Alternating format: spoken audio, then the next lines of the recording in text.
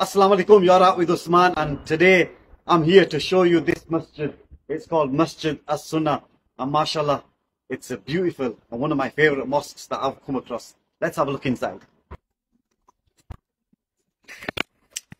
So we're just off Great Horton Road and let's take a look. So this used to be a doctor surgery if I'm not wrong. And mashallah we've got a separate entrance and let's take a look inside. So this is the ladies area and mashallah on this side we've got the main prayer area for them. And as you can see here on the carpets, we've got no lines. We've got a plain, mashallah, plain carpet. And at the back over here, we've got a bookshelf. So you can have a look there. Alhamdulillah, we've got a nice open space. And outside here, we've got some classrooms. We'll have a look at one of them.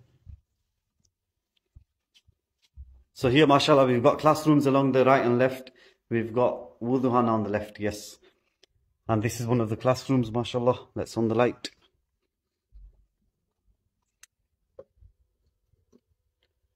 So mashallah, this is one of the classrooms. And let's learn Arabic.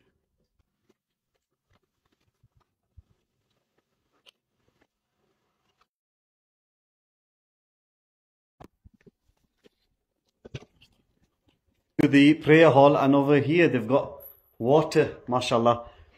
And what i find unique again about this place is mashallah they've got no markings on the carpets alhamdulillah. And on the left over here we've got some aftershave some attar and we've got a bookshelf as well. So these guys have actually got mountains of knowledge mashallah.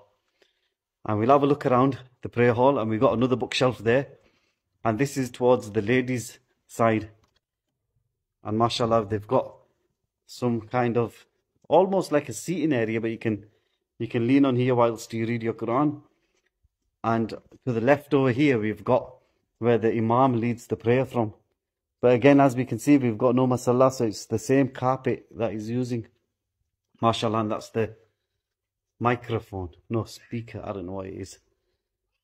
And oh i can hear some kids and um, this is the prayer hall and towards the back here we've got one brother mashallah. Assalamu alaikum how are you? You okay? Yeah alhamdulillah. What's your name ismail? So brother ismail i've just met him at the mosque and mashallah he's got a message for you guys. Inshallah. Yeah just obviously i saw our brother here. What's your name bro? Usman i saw our brother Uthman here. He came in said he wanted to go to the masjid and he goes around uh, different masajid. And uh, I heard him say that you know he's heard some negative things about the mosque and stuff like this you know and some people they have a bad picture because um, when they come in, the first thing they see they see the Salafi bookstore. So when they see the word Salafi, they might think, oh, you know, these people have heard this and that, you know. So they might get a bit scared depending on where you're from. Um, like for example, in France, um, Salafia is, is linked to extremism because the government have just you know made people think that these kind of things. But in other parts, even here, a lot of non-Muslims actually got, from what I've experienced, have got a good thought of, of, of, of Salafism. They, they see it as orthodoxy. So um, so yeah, I would invite invite anyone in Bradford to come to this masjid and see for themselves, you know, because the people here they, they strive to follow the sunnah. And if you've noticed, he mentioned that there's there's no linings on the on the on the carpet.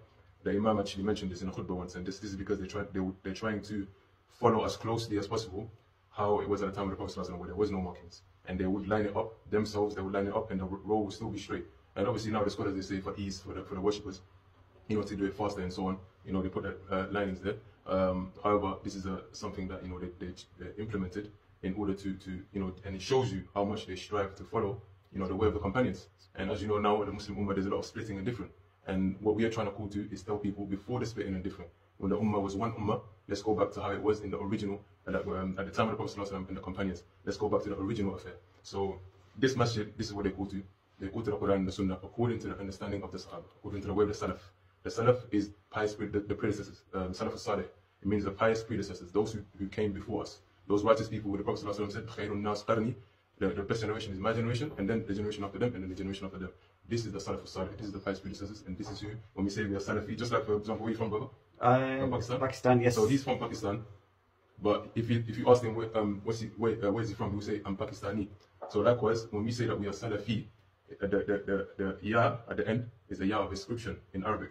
So the Salaf are the past predecessors, and when someone says they are Salafi, they're ascribing themselves to them.